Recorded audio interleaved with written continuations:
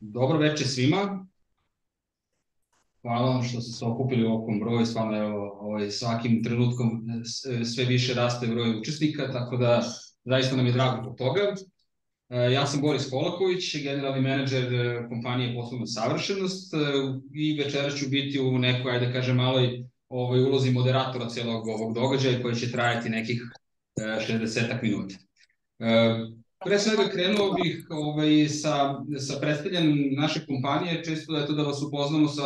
Brate, ovo je velika za ovo izgleda četkica. Ja bih samo zavolio sve da isključe kameru, pošto se mešaju ovaj, glasovi. A nemoj dva posla para. Radi, radi mi, jeba sam usi, ne Samo sve. Može ti Ovo, Samo još jedan da isključe ovaj, da se mutiraju. U, brate, kako ga. Ok.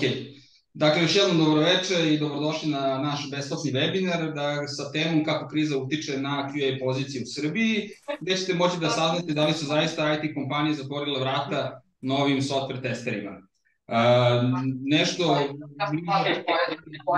Aleksandar Simonović nešto kasnije, a ja ću vam umeđu vremenu ovaj, predstaviti školu u par minuta, eto da jednostavno za ljudi koji nisu znali da nas i se bavimo, da eto imaju prilike da se pogledaju. Samo trenutak.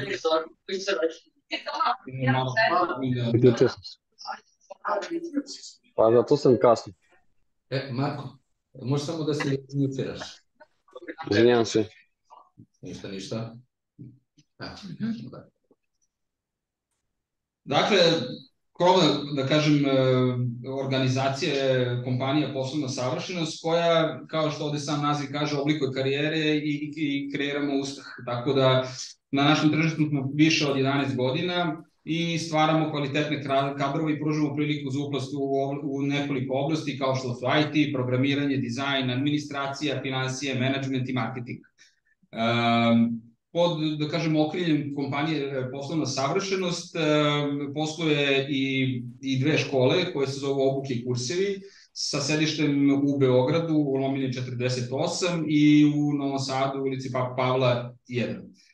Tako da, bez obzira ovaj, za koju se obuku odlučite, možete, ovaj, da kažem, ono, iz kog god grada dolazite, možete se ovaj, i naše obuke pratiti online, ne samo u našim učionicama koje se nalaze na te dve adrese. Uh, specializovani su kao ono što kaže da nepo, ne, neformalnu edukaciju, osposobljavanje kadrova za najtrženije i najplaćenije poslove na tržištu rada i imamo u našem portfoliju preko 35 obuka koje pokrivaju sve najaktuelne oblasti. E, vidjet ćete posle na jednom od naše kontakt telefone, naše mail adrese i naše sajtove gde možete videti više informacija.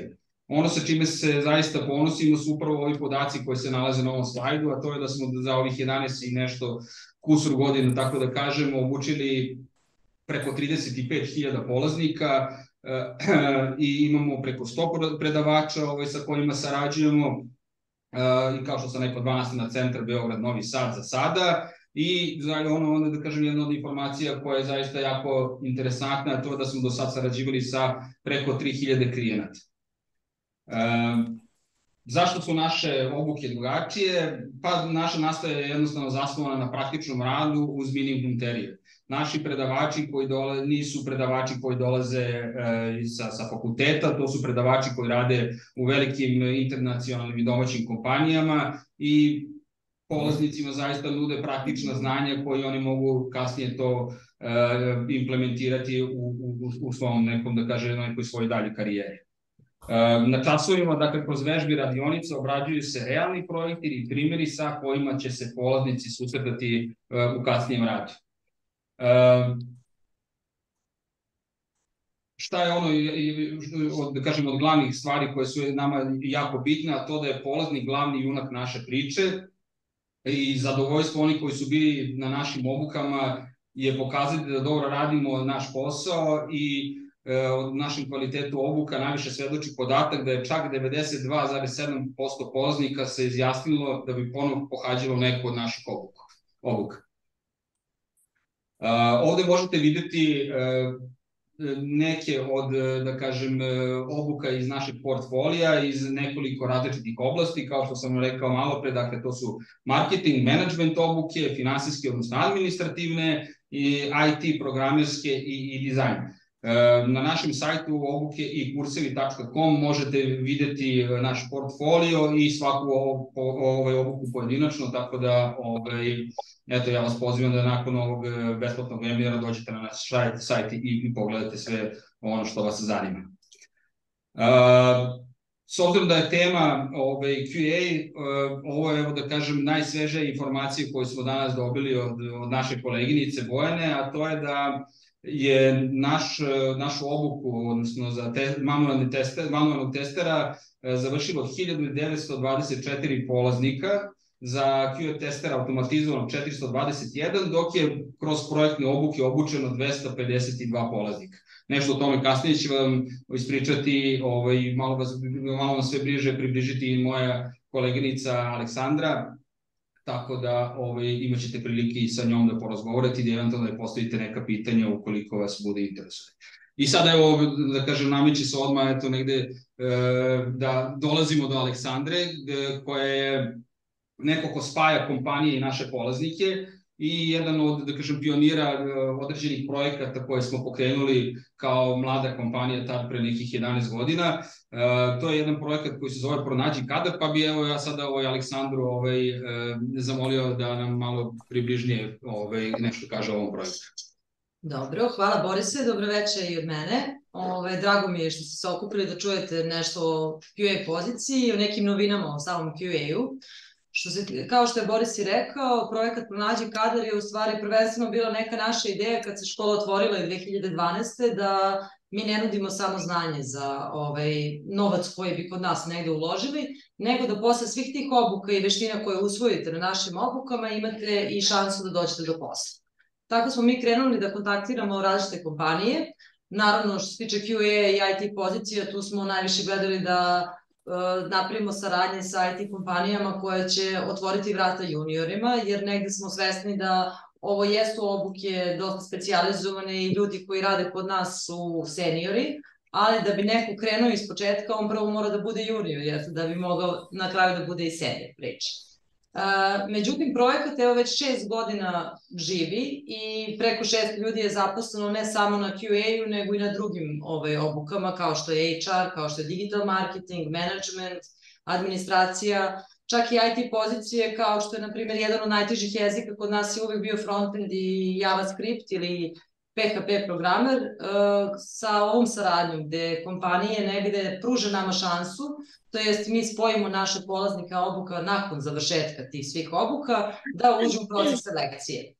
Kako to sve izgleda, na primjer dođete u našu školu, želite da se bavite PHP-om, ne znate ništa o tome, ali negde ste pročitali da je to perspektivno zanimanje, ili QA, ili Java, Java programiranje, i mi vas onda, to jest naši savjetnici za upis, vas usmere na koju obuku trebate da idete. Nakon završene obuke, da li ona 6 meseci, 9 meseci, 3 meseca, sve zavisi od same težine obuke. Negde smo svi svesni da IT ne možemo da završimo za 3 meseca, da je tu potrebno dosta više meseci i pored tog slušanja obuke kod nas, morate i kući da radite. Ali svakako predavač prati vaš rad i nakon toga kada sve se to završi, na primjer konkretno, pošto danas pričamo o QA-u, nakon šest meseci manualnog i automatskog testiranja, vi dobijete šansu da uđete u proces selekcije kod naših partnera. Tako da, e, faktički mi stalno imamo jednog klijenta za koga radimo ovu poziciju i e, dobra je šansa ne samo da steknete znanja, nego i da uđete, to je da zauzmete možda i juniorsku poziciju. Klijenti generalno nisu zatvorili zaposlenje na ovoj poziciji, Ona je bila najpopularnija, pa neke, kad smo mi ovaj, pokrenuli ovaj kurs, to je 2018. godina, ali i dalje je ona i tekako tražena. To ću svakako ostaviti Aleksandru, našem predavaču, koji već šest godina radi na ovoj obuci i stalno ju napređuje i svi predavači su negde i samo, da kažem, i same privrede. Znači nisu profesori sa fakulteta koji će vam pričati teoriju, nemam ništa protiv njih da neko ne shvati pogrešno, nego jednostavno će vas pripremati već za juniora. Kako mi pravimo uopšte obuku? Obuka nastaje tako što slušamo klijenta. Ako klijent kaže da je za jednog juniora potreban taj taj skill i ta ta veština da se prođe manualni deo, automatsko testiranje, da li da radimo u Java Selenium ili da radimo Cypress, tu mi slušamo klijente i dogovaramo sa našim predavačima. Oni svaki dan, s obzirom da rade u istim IT kompanijama, to jest i u različitim više predavačama na samoj obuci, oni stalno updateuju taj kurs, ubacuju nove stvari i prate trendove. Tako da ja uvek pozivam ljude koji žele da se bave QA-om, mislim da, da dođu kod nas, jer smo se kao škola prvi pozicionirali za ovaj kurs i negde ovaj kurs smo prilagodili platežnoj moći naših potrošača.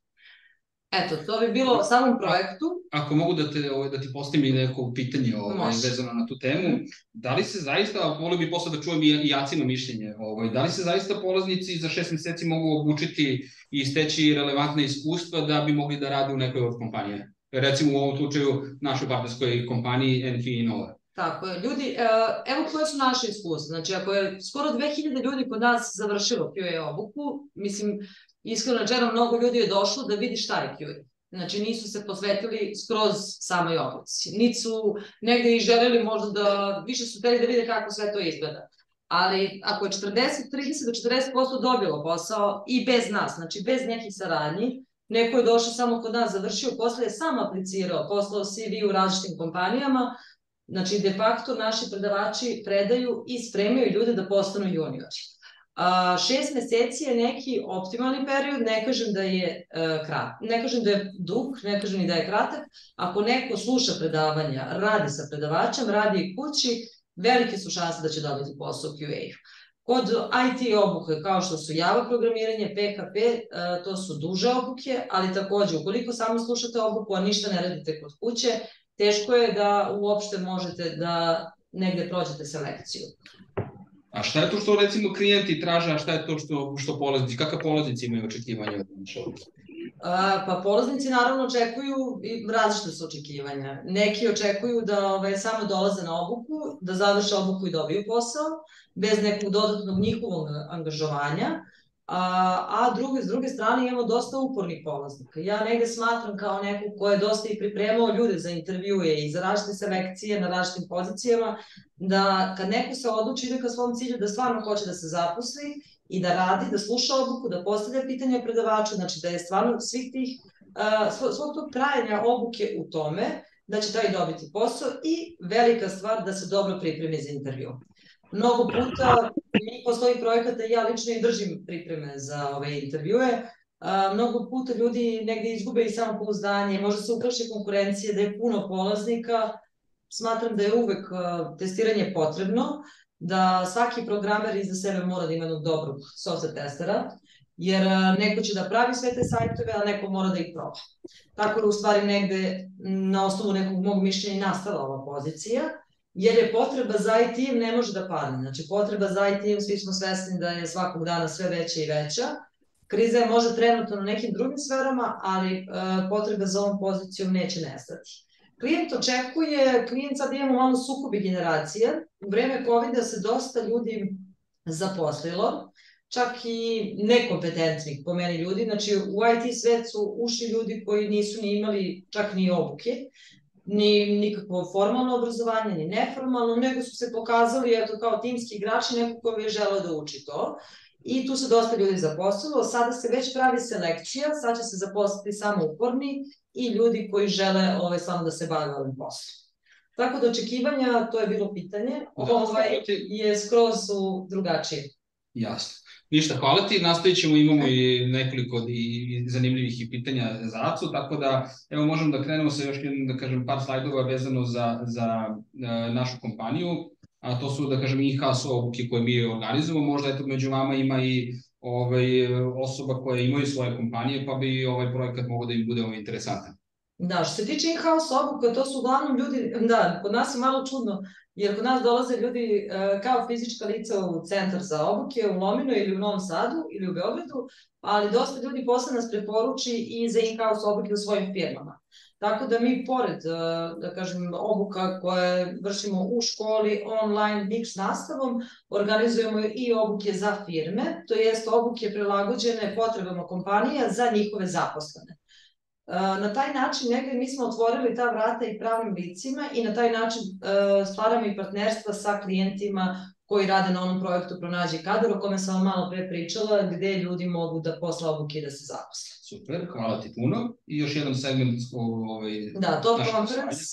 Uh, Top Conference je nastao brand pre jedno pet godina. On je baš za seminare. Nekim ljudima je predugačko da slušaju obuke, da idu par meseci i onda smo negde shvatili da naši biznis korisnici, naši klijenti vole da se to završi u jednom ili dva dana. To su uglavnom seminari za pravna lica, za ljudi koji već rade, žele da nadograde svoje znanje, žele da su, što bi rekli, u trendu, da isprate sve te trendove, da čuju neke novine i da se međusobno konektuju na našim seminarima. Sjajno. Imamo još ovde da možete pogledati našu referentnu listu, dakle spisak kompanija sa kojima smo do sad sarađivali, ovo je da kažem samo jedan deo, ovaj, ne bi vas ovaj, opterčivao sa time, ovo je ono što sam običao da ćete vidjeti, a to je slajd sa našim kontakt informacijama. Ovaj slajd ću na kraju pustiti, ovaj, da kažem, negde ovaj, i na kraju seminara, odnosno webinara, da, da možete da eventualno nas kontaktirate ukoliko imate nekih dodatnih pitanja ili neke nesnoće. Tako da um, dolazimo do, do, do, do, i do glavne zvezde večeri, do naše drago kolega Ace Simonovića, ovaj, koji će biti zadužen za, ovaj, da kažem, negde malo zanimljiviji deo, aj tako da kažem. Ovaj, I tu, ajde da kažemo, ovde sad na sledećem slajdu možete vidjeti e, kako će biti agenda, dakle, koje su sve neke oblasti o kojima ćemo ovaj, pričati. Tako da, Aleksandar zaista je fantastičan u prenošenju znanja i veština sa, sa, sa kojima se možete, da kažem, negde i lakše zaposliti na našem tržištu rada, ne samo kod nas, već i negde i u inostranstvu. Ja bih imao samo pitanje, ja sam pinjala, može se na četu, da li da odgovaramo na kraju, samo nisi rekao? Da, može, Q&A sesiju, dakle, pitanje odgovore ovaj, možemo imati na kraju, vi umeđu vremenu možete, kad, vam, kad dođemo do neke oblasti, postaviti pitanje u četu, pa ćemo proći svakako na kraju ovaj, webinara sva, sva pitanja i trudit ćemo se da vam damo sve, ovaj, da kažem, relevantne ovaj, odgovore. Tako da, Aco, uh, prepuštam ti palicu, možeš da ovaj, šeruješ eh, screen, tako da, eto, ovaj, na, nastavljamo dalje sa ovim delom programa. Prvo da se predstavim, ja sam Aleksandar Simonović, kao što ste već čuli, ja predajem više od 5-6 godina ovaj kurs, to je tačnije mi smo ga i otvorili u školi, zajedno sa ovaj, predstavnicima škole, naravno. Što se tiče um, QA-a kao profesije, bilo je sada pomi, malo pominje na tu temu, da li je to, um, da li će biti zastupljen dalje, da li će ta profesija da se ugasi, neće i tako dalje. Ono što je jako bitno da svi shvate je da QA postoji apsolutno svakoj profesiji, kako u svakoj profesiji, tako je naravno nastala i u IT industriji. Razlog zašto je nastalo u IT industriji je zato što pre nas a, samo testiranje su vršili developeri. Imajući na umu koliko su developeri finansijski trošak za određeni projekat i koliko su QA-evi, sama ta činjenica dovešće vas do um, i odgovora na to pitanje da li će se QA ikad udati ili neće. Druga stvar je što, naravno, developeri kada testiraju svoj neki projekat, to je svoj neki kod koji su napravili, oni ga testiraju na neki osnovni način, misleći da ostale stvari ili ostali slučajevi koji mogu da se dogode zapravo rade. I onda testiraju samo one gde oni znaju da su imali poteškoća da možda naprave, tako, ili koji oni misle da su najbitniji u tom određenom slučaju. Mi kao QA-evi ne možemo i nemamo luksus da razmišljamo na taj način. Svaki ugao posmatranja mora biti pokriven, jer sa, i sami znate da ako stavite 100 različitih polaznika, to jest korisnika neke aplikacije, da svih 100 će koristiti apsolutno na drugačiji način, unositi neke drugačije podatke unutar same te, ajde kažemo, forme ili bilo šta da se testira u tom trenutku. Na nama, kao QA-evima, je da dokažemo da to zapravo radi iz svih tih uglova. To isprva zvuči jako jednostavno i prosto i većina polaznika koji dolaze kod mene razmišljaju, aha, ok, ova profesija je izuzetno laka, uradim klik, klik, klik, kliknem ovde, kliknem ovde i dokažem da to radi ili ne radi. Naravno, nije baš tako uprošćeno i idealno lako. Um, način razmišljanja prvo treba da se postavi na mesto, to mi ćemo malo kasnije kad budemo predstavljali kurs, generalno. Ali da, ukratko da sumiram, QA profesija će napraviti opet, ajde da kažemo, veliki iskorak. Jednom kada ajde da kažemo, ova trenutna situacija se stiša, jer kao što svi znate, ali mislim da ćemo pričati malo više na tu temu e, kao kriza u QA-u, ali svi znate da a, situacija koja se danas dešava je apsolutno uticala na sve profesije, ne u IT-u, nego apsolutno svaka profesija je zakačena u smislu da a, je bila manja potražnja u prvom delu godine nego sada što se dešava trenutno na tržištu. Um, ali dobro, više ćemo malo kasnije ovaj, na tu temu. Tako da, ćemo na sledeće pitanje da postavite. Pa... Da, može, ovaj, dobili smo dosta pitanja vezano, ovaj, da kažem, ljude malo bune. Koja je to razlika između, ovaj, da kažem, QA, odnosno Quality Assurance i software testere? Pa ako možeš malo više da nam približiš tu temu. Da, u principu um, QA, ja kažem da je za svakoga, iz prostog razloga zato što postoji manualni deo, postoji automatski deo i postoji so software testing. Manualni deo se odnosi prvenstveno na logiku način pristupanja samog testiranja i nije potrebno poznavanje, tehničko poznavanje, to je poznavanje samog koda. Naravno, manualno testiranje vremenom se razvilo i postoje razni načini i vrste testiranja koji se razvijaju ne na juniorskim samim pozicijama, nego kasnije kada se zaposlite u firmi. Zato što niko ne može da, ajde da kažemo, um, pretpostavi šta ćete vi sutra tačno raditi u firmi koji se zaposlite, jer projekti su jako, jako različiti. Što se tiče automatskog dela, taj deo je više, ajde da kažemo, namenjen za neke um, osobe koje žele ipak da uplove u malo tehničke vode, to jest samo poznavanje koda i način na koji posle te test case-eve ili uh, manualni testeri koji naprave te određene test case-eve automatski inženjer preuzima njih i pravi ih da budu automatizovani. Zašto se to radi? Um, mogu da vam dam jedan, ajde da kažemo, klasičan primjer. Ako uzmete formu koja ima 50 polja, 50 polja koja svako, koje, gde svako od, od, od tih polja ima svoje uslove. Recimo da svako polje ima po 3-4 uslova. Da li vi možete svaki dan ili svaki drugi dan da testirate tu formu dokazujući da ona radi? Ili manualnim putem možete da dokažete jedno, da ispišete potrebne korake za dokazivanje i izvršavanje, ali nakon toga biznis poželi šta? Biznis poželi da automatizujete test case-eve da ne bi morao svaki put da se vraća na iste stvari. I onda kada dođe, na primjer, ujutru u 7-8 sati, oni kliknu execute ili rano, tako pokrenu te automatizovane test case-eve i mašina sama radi umjesto čoveka. Drugim rečima, sama krene da prolazi kroz određene uh, korake i dokazuje da li su oni prošli ili nisu prošli.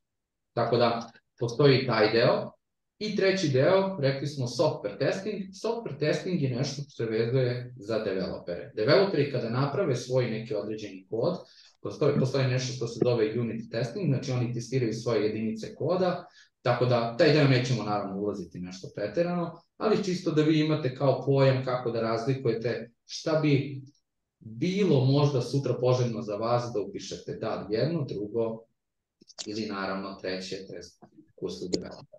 Kaži mi, Aco, kakva je potreba za testerima na, na, na tržištu rada ovde kod nas trenutno? Trenutno situacija se popravlja. U prvoj godini je bila izuzetno teška. To jest, ajde da se vratimo tri godine nazad. Um, ekspanzija se dogodila, naravno, kada je korona uh, udarila i svi su želi da pređu na IT. Um, bio je izuzetan odziv polaznika i svi su mislili da nakon tih kurseva neće se zaposliti, zato što Mislili samo da vide kako to izgleda, da vide da su poznani sa tim. Mislili su da je to neki baš inicijalni ili ti osnovni nivo znanja, koji nije dovoljan za zaposlenje, nego više kao za upoznavanje sa QM. Jer sama cena kursa njima implicira da, ok, upoznaću se na ovom kursu, ali ako mi se bude svidalo, ja ću da idem dalje. Međutim, kao što, što ćete vidjeti kada ako se neko upiše ovaj, budući na kurs, ja kako način na koji prezentujem i ovaj, predajem kurseve su apsolutno kažemo, relevantni medijorskom nivou. To jest, ne idem uh, sa mišljenjem da će samo poznavanje određenih veština koje su apsolutno za juniorske, slažem se pozicije, uneti u vas želju prvo da aplicirate nakon kursa, to jest da ćete se osjećati slobodno. Samim tim uh, kurs je napravljen tako da pokrije druge elemente koji su izuzetno zahtevniji nego što je potrebno za juniora. Zašto je to tako? Zato što ako uzmete u obzir da je danas više QA-eva na tržištu, naravno i više kompanija, ali i više QA-eva, želite da se istaknete, želite da budete bolji u nečemu, želite da pokažete nešto više odnosno na tog nekog prethodnog. Ako vas ja pustim sa in, baš osnovnim znanjem, a što je, šta je test case i šta je defect report, to neće biti dovoljno. Tako da... E, upravo dolazimo do, da kažem, do pitanja zašto se naša obuka razlikuje od, od drugih obuka na, na, na tržištu. Pa, razlikuje se uh, iz, iz više razloga. Prvi razlog je zato što predavači, svi predavači koji predaju u našoj školi su obučeni od strane mene da predaju. Ne kažem da nisu radili QA ranije, naravno. Um, ono što ja tražim od sebe, prvenstveno i od predavača, je da razumeju svakog polaznika, to je da se spuste na njihov nivo, a to je nivo što se tiče QA relevantan nuli, to je došli su tako bez ikakvog predznanja, i da od njih napravimo a, poželjnog kandidata sutra za neku kompaniju.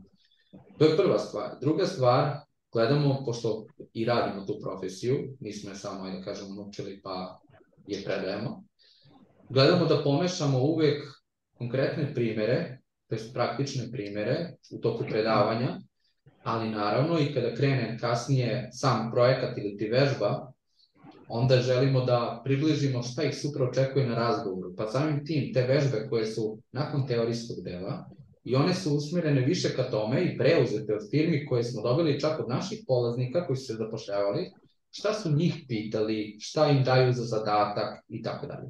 I naše dve, dve vežbe su osmišljene a, od strane nas, ali a, pozadinska ramena je od onih polaznika koji su aplicirali za te firme. Tako da... Tako da, ajde kažem, dolazimo do neke teme, odnosno nastavno nekog programa naše škole. Ove. Šta je tu eventualno specifično i šta će proći, proći polaznici na našoj obuci? Da, on, kao što svi znate, svi imaju, dok predaju neki kurs, imaju prezentaciju, slajdove neke. Međutim, ja slajdove stvarno niti gledam, niti imam um, odakle čitam šta da predajem. Ono što krasi naša predavanja jesu um, to što ne pričamo suve definicije dok predajemo, nego gledamo da pokrijemo to iz iskustvenog dela. To je fantastično, da. A same definicije, naravno u slajdovima su i možete da ih pročitate. Ja mislim uvek da je taj spoj te dve kombinacije ono što sutra čini polazniku da se osjeća sigurnim da aplicira. Jer najteži je taj moment kada oni završe kurs da shvate da znaju dovoljno da apliciraju. Upravo ja da kažem negde da, da vežem se s obzirom da sam ja nekih šest godina predavač u ovoj školi ovaj, i imam iskustvo, uh, najviše što, što polaznici žele da čuju, a to je gde su se susretali, gde smo se mi susretali, da kažemo, u nekom dosadašnjem radu sa nekim greškama, sa nekim failovima, tako da kažem, i kako smo izašli iz tih situacija. Tako da pretpostavljam da i, i na, na našoj obuci za QA, da kažem, upravo to primjer. Da, mislim, e, iskreno, ja sam ranije aplicirao dosta za QA kompanije takođe imao sam svoje pehove na samim intervjuima za razgovor. Sve pehove koje sam ja imao prenosim bukvalno na njih. To jest, ja im dam isto formu tu koji, šta su mene pitali da testiram, to ide brzo, to jest edukativnom metodom. Kao šta bi ti ovde uradio, šta bi ti ovde testirao? Mm -hmm. Naprimjer, da li su mi Google Translate, oni standardni prozornik, tako, ja sam tu išao redom, pričao šta bih testirao i na kraju on je rekao to sve, ja kažem da, to je sve.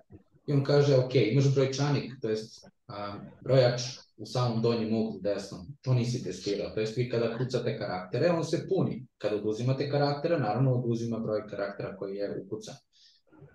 To je jedan od načina kako možete da možda ne prođete intervju. Naravno, ja to uzem kao primer, kažem njima. To je jedan od primjera, naravno, kako kursa se sretnemo sa Jasno. dosta. A kaži mi, s obzirom da sad živimo, eto da kažemo, svi smo svedoci da je u prethodnih godinu dana veštačka inteligencija dosta uticala na, na razvoj poslovanja i bukvalno svaki segment našeg i privatnog i poslovnog života. Kakva je tu situacija ovaj, na, na tržištu kad je QA u pitanju?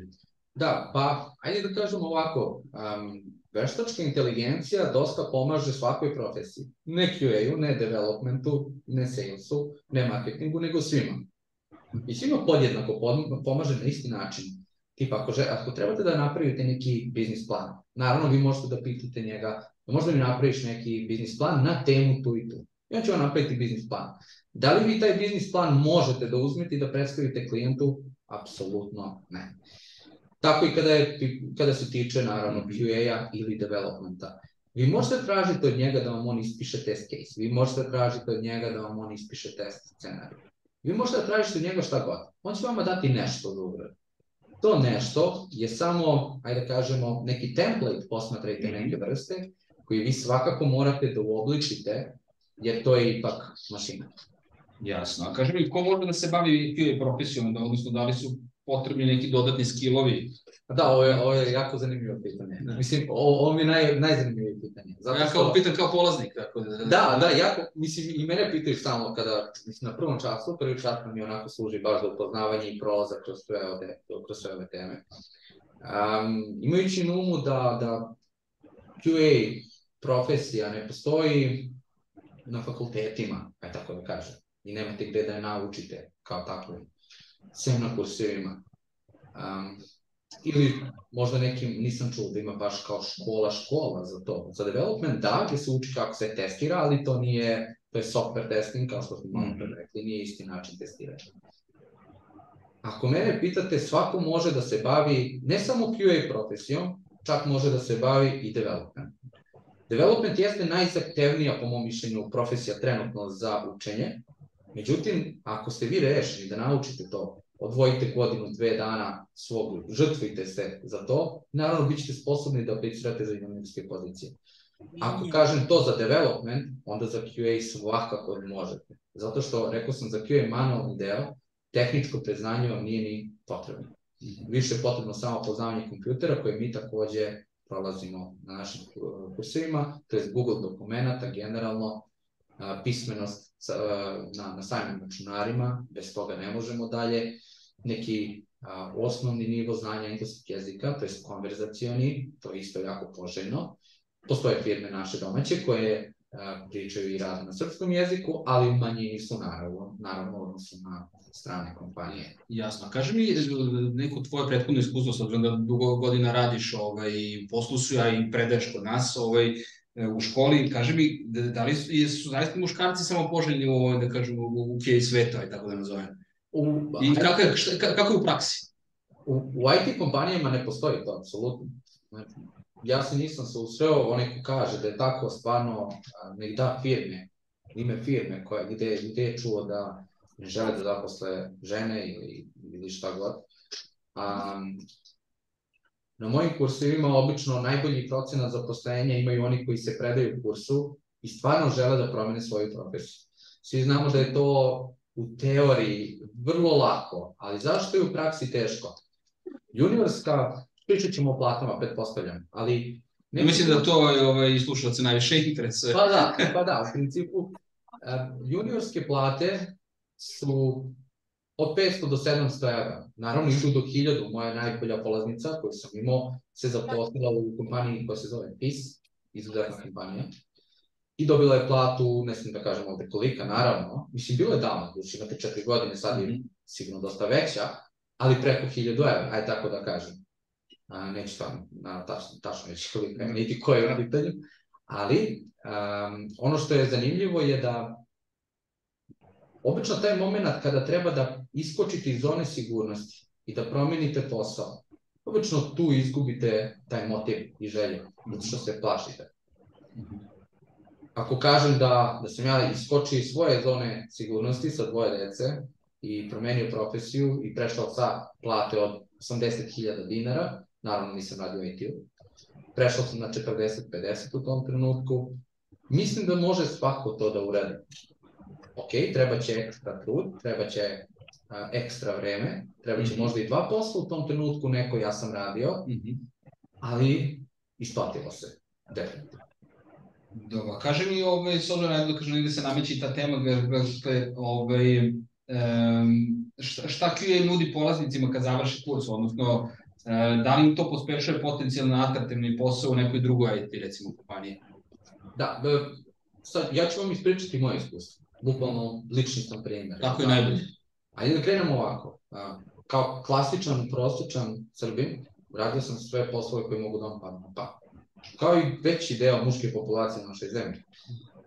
A, Razlog zašto sam se opredelio za IT je iskreno ne zato što ja volim IT i kompjutere, ja sam fanatik za kompjutere, tako, nego jednostavno um, imao sam drugara koji počeo na vreme da radim QA i rekao je nisi glup, nisi ovakav, nisi onakav, dođi, probaj, vidjet ćeš, bit će ti okej. Naravno, poslušao sam tavet nakon godinu dana, trebalo bi meni da iskočim malo iz te sigurnosti, zato ti kažem da je to najveći taj moment, ali tad nije bilo kurseva, ja sam tad morao sam da učim stvarno. Što se mene tiče, svako ko, ko stvarno ima želju da promeni a, svoj posao, može da ga promeni, bez obzira čime se bavi, bez obzira da li je to u pitanju, ne znam, razlu, razloženje pice ili rad u pekari, ne znam. Um, sam limit vi dajete sebi. Niko drugi ne može vama da da limit. Tako. Ne postoje granice. Granice stvarno, mislim, ja, Granice ja, sami postavljamo. ja dok sam radio te poslove i dok sam slušao, volao sam uvek da, da slušam motivacione neke, da kažemo, a, klipove. Uvijek sam mislio da je to više kao malo priča, aj tako da, da se izrazim. Međutim, um, kada vi počnete da ulažete u sebe i u svoje znanje i kada želite da promenite profesiju i čvrsto rešite, apsolutno shvatite da to nije priča. To je ono što je zapravo i potrebno. Dokle god samo pričate o nečemu i ne radite ništa po tom pitanju, nažalost neće biti ništa toga. E, Što se mene tiče, ovaj, mogu ja da pokrenem sada i prezentaciju, da vam pokažem Može, da. da. polaznicima, da pokažem nešto što sam spremio. Možeš da reš screen ovaj, slobodno. Hoću. Hoću. Ono što, pre nego što počnem sa, sa prezentacijom, um, ja sam bio isto na webinarima raznim. Ono što mi se tamo nije svidelo je što sve to nekako ide brzo, sve to nekako ide sa nekim slajdovima koji baš samo proleću, ničeg se posle ne sjećam kad se webinar završi, ili moram da preslušam ponovo i tako dalje.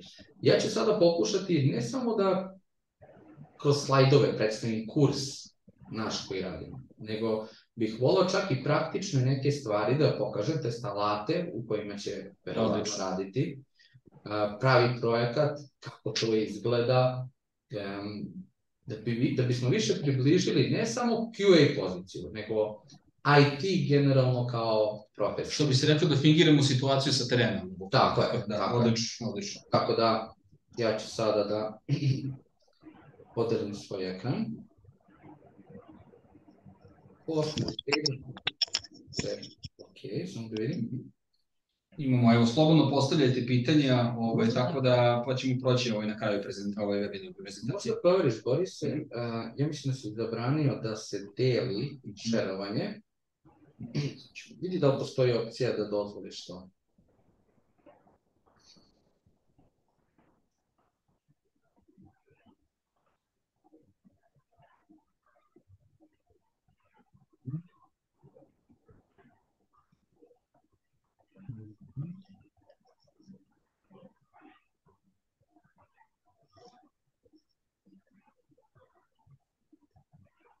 Ti to radiš, znam, evo, da, ti možeš možda, ovaj, možda Aleksandra imaš ovaj, m, neko pitanje dok ja ovde uspem da... Ili možemo da evo da odgovorimo na pitanja. Evo, ja ću pročitati pitanja dok tehnička služba uradi šta je potrebno. Evo ovako, krenut ćemo od početka. Dobro. Dejan Stanišić je pitao kako mogu zakazati razgovor sa vama u vezi pripreme za intervju. Prepostavljam da je to pitanje za mene. Ovaj, možete pozvati školu obuke i kursevi uh, na broj telefona ćemo na kraju ovaj kontakt i možemo da se čujemo i da popričamo tačno gde je zapeo, što bi rekli. A inače, pripreme za intervju nakon svake obuke su besplatne kod nas u školi. Tu prolazimo javni nastup, prezentacijone veštine. Ja vam postavljam malo pitanja koje bi vam možda klijent postavio i gledam vaše snalaženje u datim situacijama, s obzirom da negde smatram da mnogo kvalitetnih kandidata, nažalost, ne dobije posao zato što se ne pripremi dobro za intervju. Nešto što je, da kažem, najgore u toj situaciji, što može da se desi, po meni, s obzirom da radim i ja u rekrutmentu, je kada dođete na razgovor za posao, a ne znate ni kako se firma zove. Tako da, ovaj, to je s čime se bavi. Ovaj, neki prvi, prva tačka pripreme bi bila da upoznam se sa ovaj, proizvodom koje firma razvija, jer bi tu sutra i radio ili radila. I nadovezala bi se malo pre bilo jedno pitanje da li žene su poželjne u IT-u i tekako, zato što je naravno više muškaraca, tako da žene svakako imaju prednosti u IT. Eto, to bi bilo neki ovaj, postrek za dame, ako ih imamo, verovatno ih imamo. A, sledeće pitanje je da li veštačka inteligencija može da ugrozi QA pozicije, a to ako možeš samo da odgovoriš na to, to si već negdje ispomenuo. Tako je, spomenuli smo definitivno u narednih 5-10 godina definitivno ne vidim ni približno tome. Čak e, ne znam da li ste koristili e, chat GPT da vidite kako radi, šta radi zapravo. Ako probate par puta da mu kažete da uradi određene akcije, vidjet ćete da on uvek vrti, parafrazira iste stvari. Tako da jednostavno jako je i dalje ako mene pitate, niti artificial, niti intelligence. Malo malo je priglu. Ne, ne, malo je veštačka malo je, malo, malo je veštačka inteligencija, ali da li pomaže, da li pomaže da vi vidite kako možda nešto možete da uradite. Da. Kako, na koji način možete da pokrijete neke stvari. Ili ako želite da napišete a, neki automatizovani test case, on može da vam da predlog, da vam ispiše kod.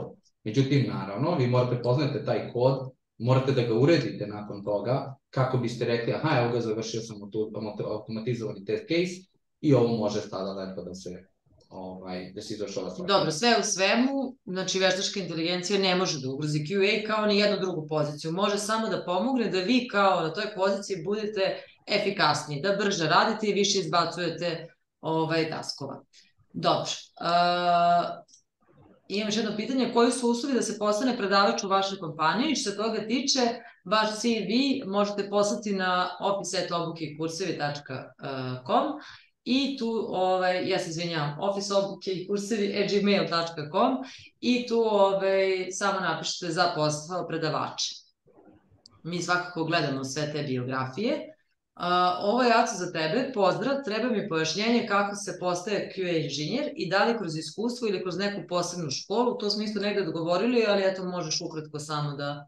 Može kroz školu, našu. da, naša, naša škola je formirana i bazira se na jednoj američkoj kompaniji koja je donela jedan QA na naše tržište i ona je pravila u svojstveno, i dalje pravi, pravi QA inženjere, ne pravi QA testere čiste, U čemu je razlika? Razlika je upravo u samom pristupu testiranja. QA testeri se više smatraju um, kao, ajde kažemo, zaposleni koji klikću malo, vide da li nešto radi, da li nešto ne radi. Međutim, um, samo poznavanje dublje testiranja, vrste testiranja, upoznavanje sa HTML, CSS-om je nešto sasvim malo drugačije. I naravno ta baza koju mi nudimo, koja je posle a, dovoljna ajde, ajde tako da se izrazim, da vi možete da se širite i granate na razne delove koje naravno postoje još.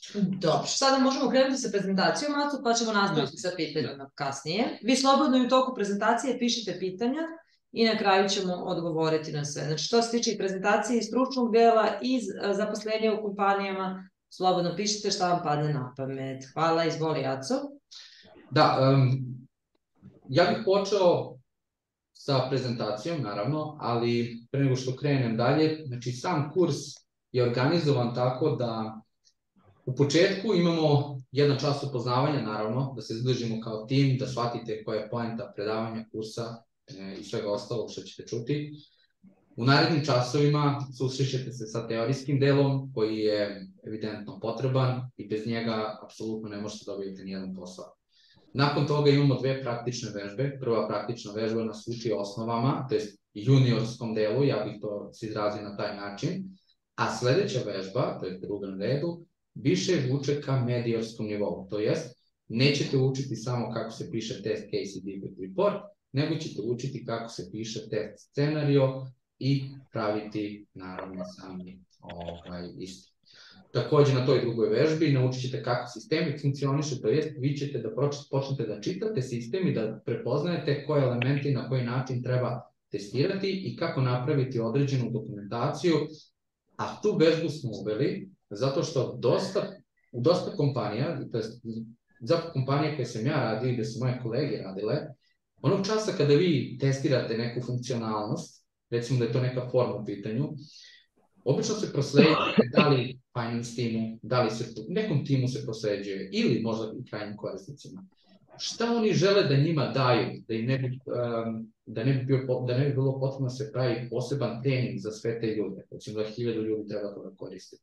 Oni žele da se naprave određene instrukcije. Sama ta dokumentacija instrukcije kako se pravi QA nas nauči, to QA će najbolje da uradi taj određeni posao. Tako da, to je a, ukratko i sažeto šta se prolazi u ta tri meseca na kursu. Kada pričamo o praktičnom delu, ono što je bitno je da znate, ono što je bitno da znate je da ćete imati vaše testiranje, to je vaše testiranje koje će biti izvršavano u određenom okruženju. Šta to zapravo znači? To znači, sad ću vam dati jedan ovde konkretan primer. Vi vidite ekran, tako svi? Da, da. Čisto da proverim. Ok. Znači, sada vam pokazati ovde nešto. Pošto o, jedno od pitanja je kada počnemo da predajemo, šta su to zapravo ta okruženja. Zamislite vi da dolazite iz uh, niše koja apsolutno nema veze sa IT-em. Vama je okruženje nešto što možete da vidite, da dotaknete i tako dalje. Naravno, u IT je to malo drugačije. Ovo što vidite ispred vas je jedan živ web sajt. Tako. Ovo pored sad što će otvoriti, u tabu pored njega, je ajde da kažemo, isto web sajt, ali na posebnom okruženju. Vidjet ćete ovde da piše staging. Šta to zapravo znači? Ovo okruženje je namenjeno za nas QA. Postoji dev okruženje, ovde kada bih napisao dev, ovako, znači ako bih ovde napisao dev, ok, sad tu će nam za samo sekund. Ako bih napisao dev, odveo bi me na TV, aha, ne znam, ok, zabranjeno deo okruženja, nije bitno. Šta to zapravo znači? Dokle god um, vi imate na umu da testiranje kao takvo ne može da se vrši direktno na live-u, i to jest ne može čak i da se pušta nešto direktno na live od samog e, developera. Zašto? Zato što onda, jednom kada oni naprave nešto i kada žele da proslede dalje taj kod. Oni prvo prosleđuju na neko naše okruženje, obično se zove staging okruženje. To staging okruženje služi nama za testiranje i jednako je live određenom okruženju. Znači, ovo je okruženje koje vide korisnici, ovo je okruženje koje je namenjeno nama QA testerima. Menjajući jedno iz jednog u drugo, shvatit ćete da su oni apsolutno isti. I da je razlika samo to što ovde imate sada neku određenu funkcionalnost koja ne postoji ovde na live. To je prvi deo koji sam teo da im pojasnim oko malo mhm. okruženja tih. Dobro. Druga stvar je imat ćete naravno alat u kome se vodi sam projekat. Ti alati su za vas, ajde da kažemo, isto izuzetno, pretredno izuzetnog značaja, zato što većinski vi nećete kreirati te neke određene taskove, nego ćete vi imati svoje kolone, sada ću ja da se baziram na njih, Znači imat ćete kolone koje su, mogu i drugačije nazive da dobiju, ali ovo su kolone, pogledajte, QA to do, QA in progress, QA on hold i ima QA done. Šta to zapravo znači? Ove četiri kolone služe nama QA-evima da kada dođe neki task u vidu kartice, evo je kartica, jedna od, kada dođe u vidu kartice na naše QA okruženje, QA koji je slobodan ili na sastanku na kojem je dogovoreno šta će biti, šta će biti namenjeno za određenog QA da testira, prevući će tu karticu i počet će da je testira. Jednom kada istestira i unese rezultate, postoje dva slučaja, ali tako? Jedan slučaj da je testiranje prošlo i da testiranje može, to da taj određeni tiket može da ide dalje. Drugi slučaj je da tiket treba da se vrati gde? U development to kolonu. Zašto se vraća tu? Zato što nije prošao naše testiranje. Ne želim sada da ulazim dublje u to, ja sam pokazujem osnove, otprilike kako to funkcioniše. Ok. Što se tiče ovo je, um, Jira kao Jira je više alat koji je namenjen za vođenje projekta. Naravno, postoje i QA alati. Ja ću pokazati jedan od njih koji je besplatan, koji čak i vi nakon ovog mini predavanja, tako da ga nazovem, možete da ulogujete se na, na njega, to je znači drift.net, napravite svoj nalog, otvorite projekat i počnete da se igrate, to jest da pišete test case-eve i da pišete defect reportove. Možda čak i da čitate o njima i onda ćete shvatiti da li vam treba ovaj kurs, da li, da li vam se sviđa pojam svega ovoga što je ispričano ili ne. Ali, ukratko, vi kao QA-vi, koja je vaša obaveza? Vaša obaveza je da pročitate dokumentaciju detaljno, iako svi mislite da je to lako, to nije lako, zato što profesije koje dolaze ili projekti ili njihova priroda se apsolutno razlikuju svakodnevno, to jest možete danas da radite na jednom projektu koji se bavio, ajmo da kažem nešto što vam je poznato, a, služi Ali, AliExpress, na primer, svi znamo šta je, a drugi projekat, recimo, možemo da vezujemo za prodaju, ne moramo za prodaju, pošto ovo bila prodaja, recimo neki finansijski softver koji služi banci da obračunava neke određene, tako, račune. Ili da vrši transakcije ili šta god. U tom pogledu, naravno, to su totalno različite profesije. Sutra, kao i meni što dolazi a, recimo jednom ili dva puta godišnje, uvijek mi dolazi neka nova profesija koju ranije nisam imao prilike da se susretnem i moram sve iznova da učim tako da se upoznajem kako bih mogao da testiram. Šta to znači? Poznavanje to dokument, te dokumentacije je ključna stvar, jer vi ako krećete da testirate nešto, a nemate spoznaje toga što testirate, nažalost, sve ono što vi budete testirali pašće u vodu. Ili, da skratim priču, naši polaznici dobijaju posao iz prostog jednostavnog razloga. Bi, firma, kompanija neka, prosledi polaznicima zadatak, to jest prijavljenima, tako, za posao. Kada im prosledi, daje im stranicu i kaže napišite mi defect reportove, to jest bugove koje ste pronašli. I šta oni urade? Oni napišu bugove koje pronađu. A kako ih pronađu? To ne pišu. Znate zašto ne pišu? Zato što klikću po aplikaciji. Vi morate da napišete čemu služi ta aplikacija. Vi morate da shvatite koji je njen glavni cilj, koja je namena, tako? Kada to znate, onda znate šta prvo da testirate. Zašto je bitna neka funkcionalnost koja je skroz nebitna, smislu ne koriste korisnici, nije bitna za funkcionalnost sajta i tako dalje. Zašto je bitno da nju testiramo i da za nju pronađemo bugove ako nismo prethodno testirali one koje zapravo rade? I samim tim, kada vi imate, ajde kažemo, zahtev od njih, kažu prijavite nam bugove koje pronađete. Vi u strahu krećete da tražite bugove, kliktajući po cijeloj aplikaciji. Na taj način nećete pronaći ništa ozbiljno. Pronaćete da slovo nedostaje, pronaćete da ne znam, neko polje možda je obeleženo ne, žutom bojem, dok se druga zelenom, ok, ali bug, da li transakcija prolazi, na primjer, da li oglas može da se postavi, jer tome, na primjer, služi sajt, to čak niste ni probali. Što znači, ima dosta tu što, što se na kursu nauči, zašto ne treba testiranje, nego plan i sistem testiranja treba pre toga da... To su neke male tajne velikih majstora. Mora, mora, nažalost, mislim, mora tako.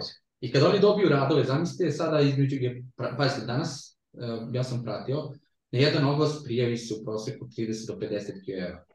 zašto oni da uzmu baš vas? Je li tako? Tako. Vi morate da im pokažete zašto. Jer ako vi date rad gde stoji četiri baga, i onaj drugi će sigurno naći četiri neka baga, i onaj treći, i radeći na taj način, verovatno ćete čak i svi iste bagove da pri, primetite. Ali ako dobiju rad, gde ste vi napisali prvo šta je taj projekat, kao mali ugod, onda dokumentacija, zašto to testirate, da pojašnjeno. A onda sam test, uh, test, test scenariju ili plan testiranja, i onda test case-evi koji dokazuju koracima šta da zapravo radi i ne radi. To je totalno drugačiji Da, rad. upravo to me sad podstiče na jedno pitanje, a to je kako, kako se radi testiranje, odnosno kad neko ode na, na razgovor za posao, recimo. Kako to izgleda? Da, pa ako je došao live, kao u smislu uh, nisu mu dali neki zadatak putem e-maila da uradi, to je malo drugačije. Obično vas tamo pitaju pitanja kako bi videli vaš način razmišljanja. Oni žele uvijek da razmišljate da u što kraćem vremenskom periodu testirate što je više moguće. To je njihov cilj. Jer ako on ima jednu osobu koja, zamislite da imate funkcionalnost, jednu formu.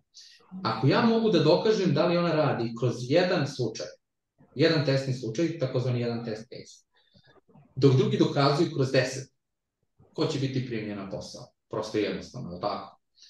To je zapravo to. Dobro, hvala ti. Ove, je li imaš možda još nešto ili možemo da krenemo na, na, na pitanja ove, polaznika? Pa, što se... Imam i svašta. Što se... Da, mislim, ima ovo jedna široka tema, mogli smo da ovde da pričamo danima, ali ove, eto, možemo da krenemo na, na, na odgovore, na pitanja i odgovore. Može, može. Može? Sekunda. Može, može. Hoću prestati. E. delim. Dobro. Ovo je bio jedan deo prezentacije QA obuke. Naravno da tu možemo danima da pričamo. Vi ste postavili još neka pitanja. Možemo da krenemo od poslednje, E, da. posle pa evo nazad. Ja. A, da, evo ja sam ovde stala. Znači ovo je za ARCU, ovaj, ICT-ku ICQB, da. da li je bitan i kolika je njegova a, vrednost prim konkursu za posao. Da, ima kompanije koje isključivo traže a, sertifikovane ICT-QB QA-eve Mhm. a, i imaju kompanije koje ne žele uopšte ICT-QB sertifikovane QA-eve, a imaju one koje ima to predstavlja samo plus, ajde tako da se izrazim. Ako mene pitate, um, svaki sertifikat ili svaka veština nova je zapravo nešto što doprinosi vašem razvitku. Ako mene pitate. Neko se neće složiti jer neko ne priznaje taj sertifikat. Ja kažem ok, ne, ne moraš ti da ga priznaješ kao lično da ga priznaješ. Ali ako je sertifikat za QA, nešto je prošao, nešto je vidio, nešto je, e, mora da uči evidentno o tome. Tako da, poželjno, da, da li je Mhm. pod morati, ne.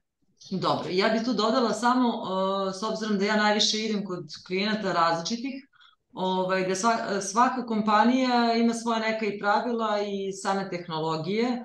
To je jedno, da, uh, jedno od tih je, na primjer, razlika Java Selenium i Cypress. O, uh, mnogi klijenti će tražiti, evo ja bi to postavila sad Acu kao pitanje, mnogi klijenti traže Java Selenium i mi smo negde, a mnogi, uh, a drugi sad Cypress koji postoji jako popularan.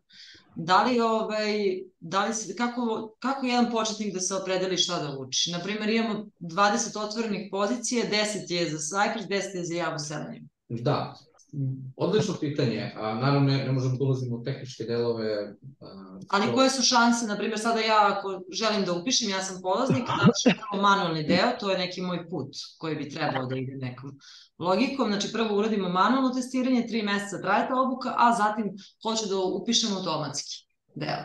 Da li da idem na Cypress ili na Java Selenium? da, Kako to- mogu lakše da se, u stvari pitanje je kako mogu lakše da se prilagodim posle tržišnoj priči?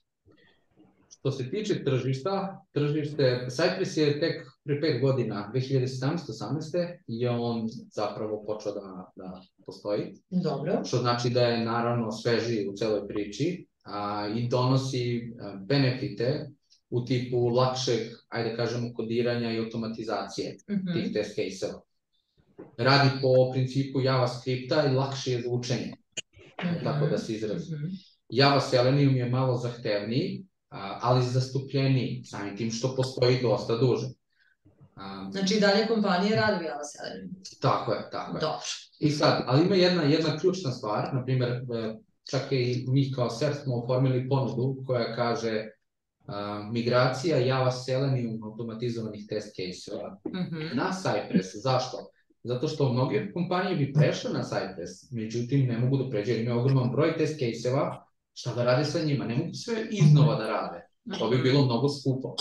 I onda oni hoće, i sad napokon je, o, ja mislim pre godinu i po dve, je napravljena, to jest omogućena ta tranzicija tih test case-eva sa Java Selenium na um, Cypress. Da ste prilagodili Tako, Cypress. tako da u budućnosti... Znači ja nemam problem kao polaznik da dođem na kurs i da ovaj, da li ću da idem na Java Selenium ili Cypress, znači bolje neka preporuka da se ide na Java Selenium, ali ima ljudi koji žele samo Cypress, mogu i on lako da se Evo zaposle. imamo baš jedno pitanje, ja se nadožem, kaže, govorili ste o Seleniumu i Cypress za automatsko, a Python, da li ima značenje na u automatsko? E, ja koliko sam video generalno i na kursevima, redko ko pokriva Python za automatsko testiranje. E, Čuo sam da, nisam radio daleko toga o tome, ali um, nisam čuo ne, nešto pretredno ni firme da, da, ko- da, na taj način da sprovode automatizaciju test case-a. Naravno da postoji sigurno, ali više je zastupno Java Selenium i Cypress. Ako mene pitate, nećete pogrešiti ni sa Java Selenium, ni sa Cypressom, čak možete da naučite i oba, rade po, po drugačijem principu malo, ali a, kao budućnost, opet, kažem, Cypress je počeo da uzima primat, uh, mislim primat, počeo da se širi jako, da li će to, da li će to ići u tom smeru i dok, dokle, ne znam tačno ja. Tako da, za sada i dalje Java Selenium. Evo još jedno ovaj pitanje, kaže, kakvu perspektivu ima JavaScript Selenium? Mhm. To ne bih znao tačno. To Evo, što tiče perspektive, samo učite i perspektiva će se stvoriti. To. E, ja sam stala kod ovog pitanja, da neku ne zaboravimo. Znači, zanima me da li neko ko nema nikakvo znanje o IT-u može da savlada kurs, tu bi evo ja odgovorila, znači obuka je prilagođena za početnike i krećemo iz početka. Tako da, što se tiče IT-a, dođite, potrebna je volja i želja da radite taj posao. To su polaznici koji najviše dobijaju uh, zaposlenje. Kaže, završila sam manualni deo u drugoj uh, kompaniji, to je školi, da li bih mogla kod vas da nastavim automatizaciju? Da. Kod nas dosta ljudi koji završe dolaze i sa iz drugih škola, na samo Java Selenium ili Cypress, a manualni deo su završili negde drugo. Tako da, odgovor je da. Čak i kad završe recimo manualno u nekoj školi dođu opet kod nas ovaj na manualni, tako da ima i tih primjera. Dobro, nećemo da se hvalimo, da ne bude sad da mi najbolji, nismo najbolji, svi se trudimo da budemo najbolji. Mogu ja da kažem nešto na tu temu, imao sam položnike koji stvarno, Boris što kaže, oni završe manualno, da vide, videli su, čuli su, ili ne mogu da se zaposle i dalje Da. i žele da vide šta je to, šta se dešava. I onda shvate u stvari zapravo šta su naučili na tom kursu. Obično su to stuve neke definicije kojima streme i praktični primjeri koji ih uče kako da napišu test case i defect report. Ali to nije dovoljno za zaposlenje nas. Dobro, mi smo svakako centar za praktične veštine i tu se trudimo da ovaj, nastavimo sa tom tradicijom da praktično znanje dobiju polaznici naših obuka. Kaže ovako, za neke od nas koji su već prošli neke kurseve, na koji način možemo da vežbamo i radimo neki praktičan projekat, nešto što možemo da stavimo u CV. E sad, pitanje je gde ste završili, da li ste radili na praktičnim uh, primerima ili ste slušali teoriju, to je ono što je Aleksandar i rekao. Posle naših kurseva svakako mogu staviti u CV, čak i ovaj da ste završili kod nas i da ste radili na tim i tim projektima. A, dobro, ovo je Aco za tebe, a, X-Ray plugin za Jira. Da li se radi? Ja ga nisam koristio, nešto pretarano, iskreno. Mhm.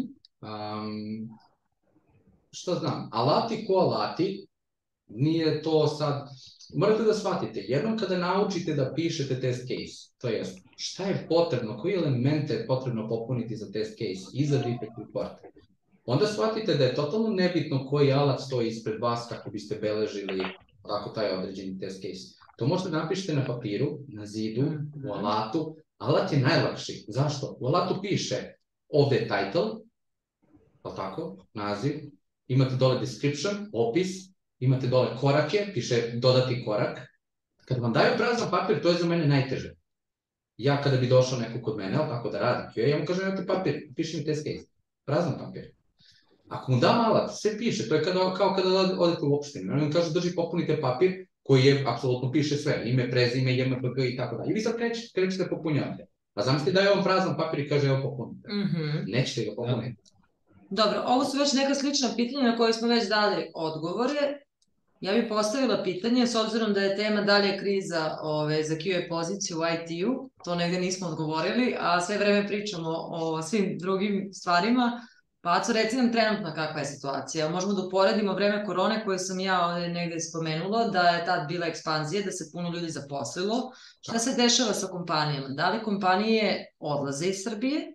Da li oni, uh, koje su to kompanije? Znači, negde mi, evo to bi dala kao savjet i našim budućim možda i polaznicima i kandidatima, ko bude želeo da se bavi, da uđe u svet IT-a, neko moje mišljenje da možda više trebaju da gledaju kompanije koje su produkt orijentisane nego koje su outsourcing kompanije.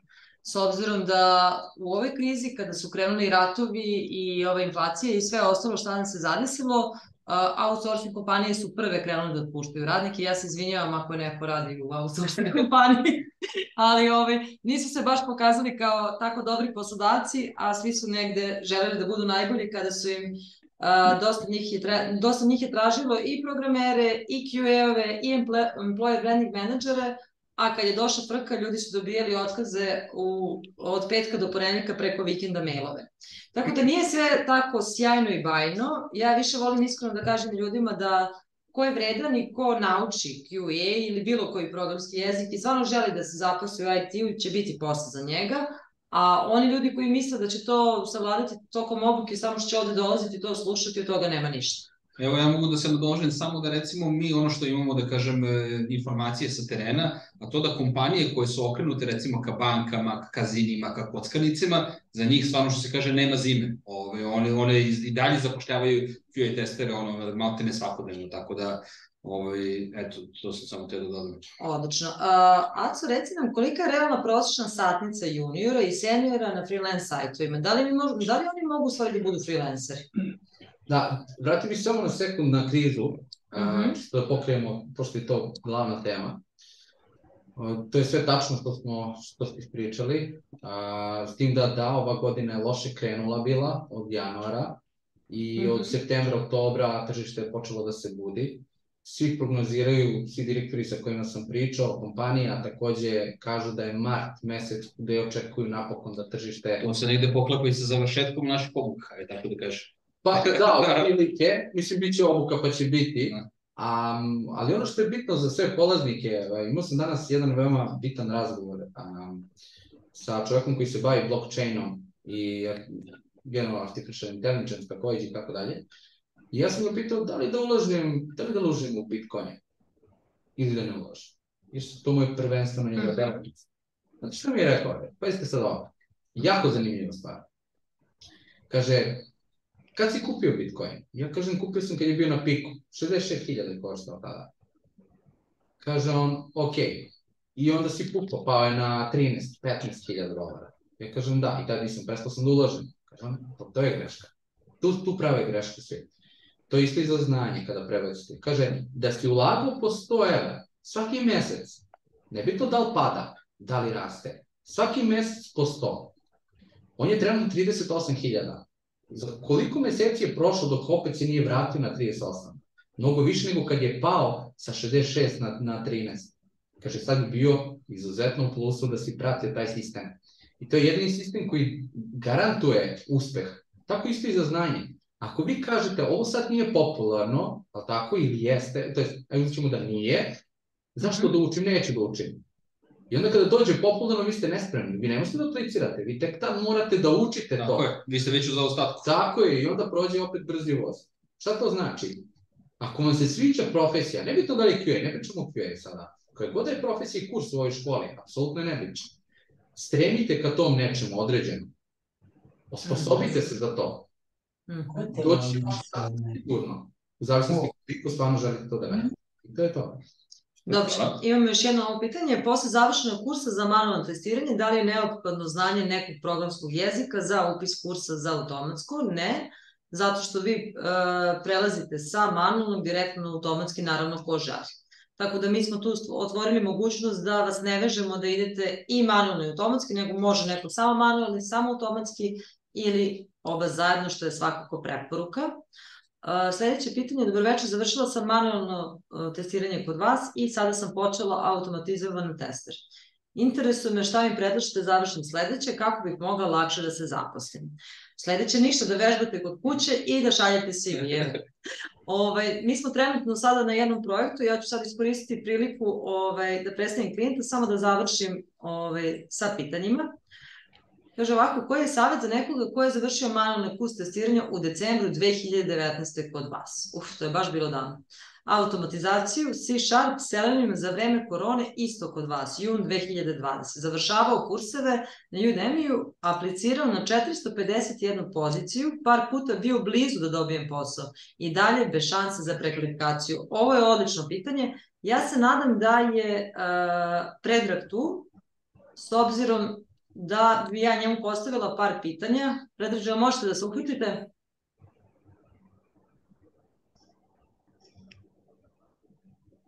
Predrag, da li je... A, da li se čujemo? Zdravo. Ćao, čao svima, da se čujemo? Čujemo se. Pa jeste, nisam, mislim, evo, drago mi je samo kratko da, da pohvalimo vas ovo, što ste organizovali web, webinar, s obzirom da sam ove, ove kurse ove, završavao kod vas. Uh, uh, ne znam šta se dešava, da li ono, da odustanemo od ovoga ili ne. da nastavimo dalje. Šta je vaš savjet? Moj savjet je prvo da mi kažete samo, pošto ste mi a, napisali u poruci, aplicirao sam na 451 poziciju i par puta bio blizu da dobijem posao. Šta znači blizu da dobijem posao? Gde je zapravo na kraju?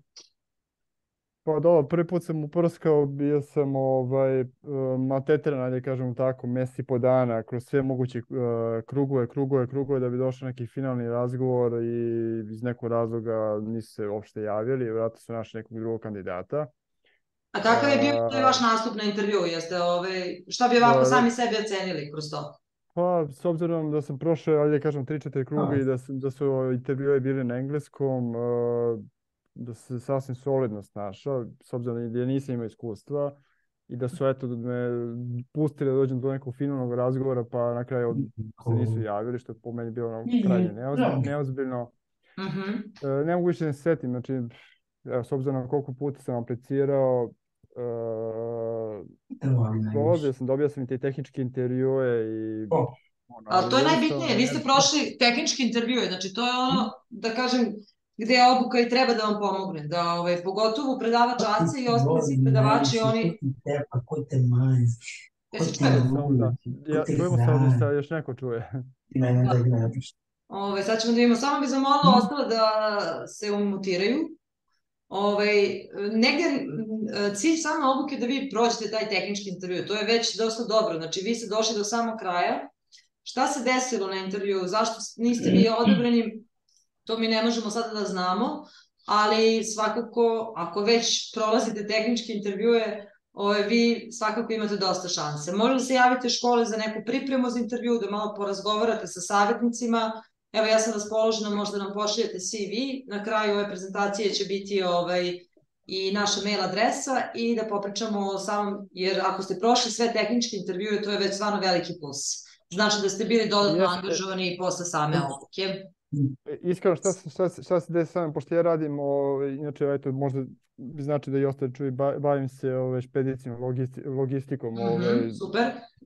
Meni je ceo posao je komunikacija na engleskom, poprilično puno radim u, u Excelu, e, imam iskustva sa HTML-om, radi se radnje nešto kao web i baš se trudio, baš sam zagrizao bio za QA, dopalo mi se, želeo sam to da radim i dosta sebe sam dao u tome, s obzirom, s obzirom koliko vremena prošlo sad sam nekako malo to gurno sa strane, pogotovo što mi ova cijela situacija ne uliva sigurnost. Upravo to, nekako se plaši, ako dobijem taj posao, da li ću ostati na njemu, jer ne mogu sebi da priuštim da ne radim mm -hmm. dva, tri meseca, to bi bilo katastrofa. Mislim da je moj slučaj vrlo sličan generalno mnogim ljudima koje se trenutno nalaze. Mislim, ono, Dobro, evo mi kao škola šta možemo da pomognemo, mi imamo trenutno klijenta koga je otvorena pozicija, i vi nam pošaljite vaš CV i dogovorit ćemo se, mi ćemo proslediti klijentu da vas zove na intervju.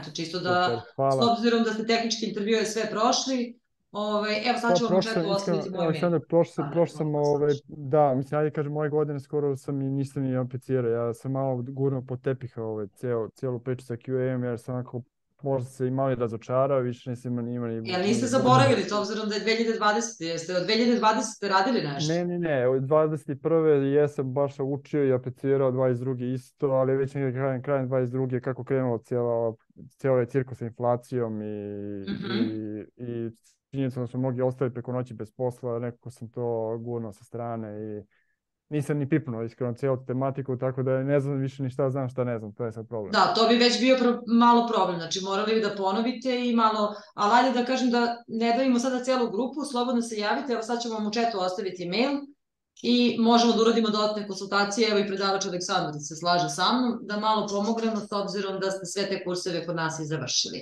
Dobro, uh, Hvala evo puno. pita Mina Lazičić, koje to kompanije svakodnevno zapošljavaju QA?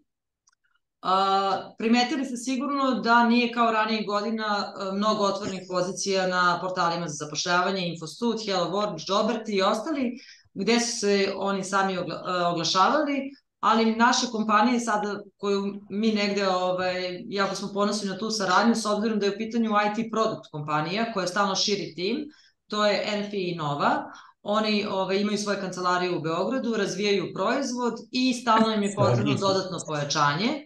Mi trenutno za njih radimo obuke, upis je i dalje otvoren, tako da ko je zainteresovan da posle šest meseci QA na kome će se učiti tri meseca manualnog testiranja i tri meseca automatskog, uđe u proces selekcije i dobije mogućnost za zaposlenje, može da poseti sajt znači businesskursevi.com, flash posao, QA testera, ostavit ćemo link, kolega će sad ostaviti ispod mog maila link, da pogledate o celom projektu. Znači, MP Innova je naš novi klijent koji uh, neće zaposliti samo jednog QA, nego sve koji budu talentovani i ovaj, budu se trudili na samoj obuci. Kada se završi obuka od šest meseci, znači morate da završite celu obuku, radite i test na kraju i onda ulazite u proces selekcije kod njih. Dalju selekciju rade nadležni, to je HR služba NP Inove i oni će ovaj, uraditi tu selekciju i oni odlučuju ko je zaposlen. Mi smo tu da edukujemo, da pomognemo da vas spojimo direktno sa klijentom, ali same rezultate procesa selekcije daje kompanija. Ako neko, ne, pošto sam već ispričala o ovom projektu za MP Inovu, da li neko ima možda neko pitanje u vezi toga, kako posle obuke dobiti posao?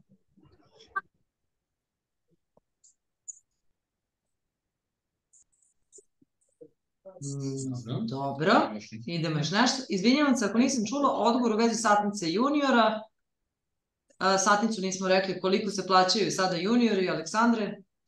Ba, u principu satnica, satnica kao satnica, pričamo bolje o platama, pa vi posle možete prenesete to u satnicu. A, juniorske plate imate od um, najmanje što sam ja čuo je 300-400 evra, ali to ne nazivaju platom, to nazivaju nekom vrstom um, treninga ili kako god obuke. Prakse. Prakse, tako je.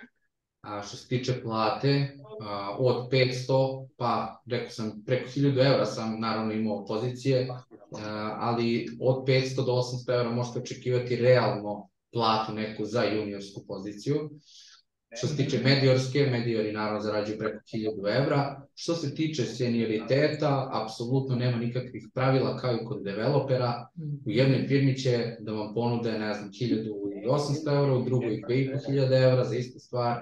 Uh, sve u zavisnosti od platežnog sistema klijenta, ali tako koliko je ovaj koliko je resursa izdvojio za tu poziciju, tako da eto, to je Dobro.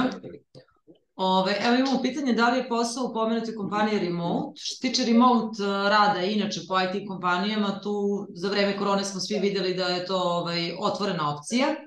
Ali što se tiče juniora, na primjer kada ste novi i trebate da krenete u neku IT kompaniju, ne bude čisto remote prvih šest meseci, nego se malo dolazi u kancelariju, to je sve u dogovoru sa klijentom ali već posle nekog vremena dobijate mogućnosti remota. To je sve, ovaj, što se tiče MP Inove, nakon nekoliko meseci bi sigurno moglo da se radi čist remote, ali druge kompanije i dalje rade samo remote ili, samo, ili neki hibridni rad.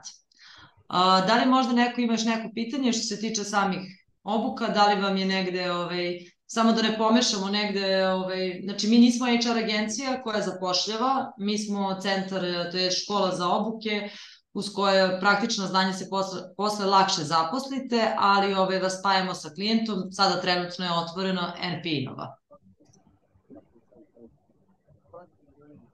Još neko pitanje? Kada počinje kurs za automatizaciju? U decembru. Kurs za EPI i Inovu, gde radite manualno i automatsko, kreće u decembru, traje 6 meseci, tempo je jednom nedeljno 3 sata ili dva puta nedeljno po sat i po vremena, radnim danima, u večernjim terminima, tako da za ljude koji rade mogu da ovaj, ili da dođu do škole ili da slušaju online, svi snimci vam ostaju, tako da možete i nakon da preslušate. Mislim da sada počinje subotom. I imamo otvorenu je subotu, evo Aleksandar kao predavač je otvorio i subotu. Jeste subotom, to je 6. decembra. 16. decembra, 16. decembra subotom, da. Dobro, part-time poslovi, da, ima i tih opcija, ali iskreno dosta manje. Dosta manje iz prostog razloga, morate da shvatite, vi kao juniori, a, zašto bi neko, a, neka kompanija zaposlila vas part-time? Obično to dobijaju seniorske pozicije. Oni za kratko vreme određe, odrade određen konkretan posao, a neće da ih plate puno, puno radno vreme, jer nema potrebe. Zašto pa imaju svoje neke midjore, juniore, uz njih će moći oni da završe neki određeni posao. Tako da, part-time poslovi su uh, izuzetno teški za juniorske pozicije, kao i platforme, online platforme gde a, želite da se tako stavite kao na izlaganje i da, da vam nude neke projekte. A, morate da shvatite da jedini put za juniora, po mom mišljenju, a, a da se zaposli konkretno stvarno, je da aplicirate za firmu. I nema od toga... Ne može ovo da bude part time u početku. E, I neko moje mišljenje je da ako želite stvarno da se bavite ovim, trebate da se negde i ovaj usmerite ka tome jer ovo nije zanat koji možete da radite posle redovnog posla. Znači ovde trebate da gledate mogućnost da gradite karijeru u IT svetu, a ne već kao junior da razmišljate da vam to bude part-time posao. Dobro, imamo ovaj, još pitanje. Neko je teo da se uključi? Dobro. Da li za uh, naše klijenta RP može ići samo na automatsko ako sam već završio manualno u drugoj školi? Ovo je dobro pitanje S obzirom da je ovaj program kad radimo za klijente šest meseci, tu ne možemo da razdvajamo automatsko ili manualno, jer mi ne možemo da garantujemo vaše znanje kod klijenta. Svaki CV koji pošaljemo iz obuka i kurseva, mi garantujemo da ste vi prošli šest meseci. Šta to znači? Šest meseci, prvi tri meseca manualno testiranje, drugi tri meseca automatsko i idete direkt od klijenta, to je vaš CV. Oni vama dalje šalju tehničke zadatke i ostali proces selekcije oni rade. Tako da, nažalost, što se tiče projektnih obuka, kao što je ova, koja traje šest meseci, ne možete, ali ako želite da idete samo na automatsko testiranje, to možete ići na redovnu obuku u našoj školi. Uh, samo sekunda. Da li otvarate mogućnost samo slušanja kursa automatizacije uz mogućnost prijave za MFIN-ove? Evo sad sam odgovorila. I da li ova firma ostavlja od početka mogućnost remote rada? Da, kao što sam rekla, remote rad da, ali ne u samom startu, s obzirom da morate da upoznate i okruženje i kompaniju i proizvod koji oni razvijaju, čime se da bi mogli da radite remote. Remote može da radi onaj koji vlada poslom, to jest zadacima koji su mi zadati od kompanije. Imate prvo uh, onboarding, imate obuke u kompaniji, upoznavanje proizvoda, upoznavanje ljudi, a tek onda kreće i remote rad. A ako smo završili manualni kod vas, znači to bi isto bilo da li možete ići samo na automatizaciju, ne, šest meseci je ceo program. Ovo je sve isto pitanja. Možete da ostaviti link gde su dostupne sve informacije o vašim kursevima. To je svakako sajt obukikursevi.com. A, ukoliko vas zanima isključivo ova projektna obuka gde, o kojoj sam pričala, šest meseci manualno testiranje plus automatsko testiranje i mogućnost zaposlenja kod klijenta NP Nova, Takođe, sada će kolega još jednom da ponovi, to je Evo, imate sajta businesskursevi.com Da li ima neko još neko pitanje? Da li mi je ovo bilo danas korisno? Da li smo vam rekli nešto novo?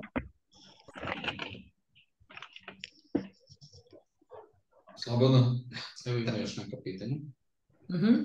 Šta je bila preporuka za nekog ko je trenutno na proizskom odsustvu, završio je manualno i završava automatsko testiranje u drugoj školi? Primer nekog sajta za vežbanje testiranja. A, što se tiče toga, m, s- svakako, vi ste u drugoj školi, to je u redu, ovaj, možete pitati naše predavače, evo, Aco, primjer nekog sajta za vežbanje testiranja. Pa, mm, ja ne znam šta su, šta su, šta Da su ne znamo šta oni predaju, malo nam je, nije zahtevno, malo je Pa, ne, ne, Nezahvalno ne, ne znam šta ste učili u toj drugoj, drugoj školi, jer šta je poenta? Vi, bilo koji sajt koji je trenutno na internetu, vi možete da uzmete i da ga testirate. Apsolutno. Bilo koji sajt. I da vežbate. Sami sebi uvek možete da napravite vežbu. Najdete na prvi web sajt i kažete, ok, ima neke funkcionalnosti, bitno da ima neke funkcionalnosti, da ne bude samo user interface i to je to da ima jednu stranicu, tako vam page, to naravno da nećete. Ali ima veći broj funkcionalnosti, znači ima registruj se, ima da kupite nešto, platite, da apsolutno možete da uzmete i da testirate, da napravite scenarij, da vežbate na bilo kom web sajtu. Mhm. Tako da definitivno da možete da vežbate na bilo kom. Dobro, hvala Aco. I e, da li imamo listu partnerskih firmi koje zapošljavaju na QA pozicijama? Da, svakako je to sada NP Innova i B2B e, IT kompanija sa kojima sarađujemo već dve godine, ali e, s obzirom da imamo i neke stare klijente koji nas često pozivaju i traže kandidati sa redovnih obuka, da kažem u svakom momentu imamo neka 3-4 klijenta gde možemo da pošaljemo vaše CV-eve nakon završenih obuka. E, dobro, to smo podelili. Uh, sve se to nalazi na biznis kursevima ili na obuke i kursevi.com šanse za posao. Tu su vam izlistane i ostale, ove, mi nemamo samo QA otvorene pozicije, već tu su i za PHP programera, i za junior manag, project menadžere, tako da pogledajte svakako sajt. Kolega Boris je ovaj, sada upravo podelio i svakog radnog dana možete od 10 do 20 časova uveče da nas posetite u Lominoj 48 na prvom spratu, ukoliko vam je potrebno i nešto u vezi CV-a i nekog karijernog vašeg puta za savet, čime da se bavite, da li da se prekvalifikujete, da li želite da se dokvalifikujete i ostalo. Ništa, ja bih sa tim završio, Aco imaš možda Da. da završim neku reč. Imaju, Pa imam još jednu, još jednu ohrabrujuću, ajde da kažem. Informaciju. Pa da, koji da nije kriz. A, a to je da um, put QA-a može da odvede u razne pravce. A šta to zapravo znači? Ja sam počeo da se bavim tehničkom podrškom, pa sam prešao na QA. Sa QA sam a, takođe razvio SEO znanje, to je jedna firma me zaposlila da radim kao SEO QA, što apsolutno nema nikakve veze sa QA, ali zapravo i ima. To je jedna vrsta, jedna vrsta testiranja, samo za SEO profesiju. A, I na kraju sam postao project manager na jednom, ovaj, a, jednom, jednom projektu. Upravo je to ohrabrujuće što bez obzira iz koje oblasti dolazite, možete da se bavite ovim poslom. Da, M to, M iz QA možete da posle da se opredelite i da nastavite da se razvijate u nekom drugom pravcu. Naprimer, ako naučite da pišete dokumentaciju kao što učimo, vi možete sutra postanete business analyst, možete da idete u project manager, da vodite projekat. Zašto? Zato što mi učimo dev procese, to jest software development life cycle, to jest proizvodnju celog ciklusa softvera na kursu. Samim tim, jasno vam stavljam do znanja da ne treba samo da budete usko fokusirani, aha, treba da kliknem tu i da testiram nešto, nego da jedan QA inženjer obuhvata jedan ceo taj segment razvijanja softvera kroz faze. Tako da imamo posebnu, ajde da kažem, poseban čas koji se bavi samo, tom, samo tim delom. Super. dobro, da li ima još neko pitanje možda? Ako neko...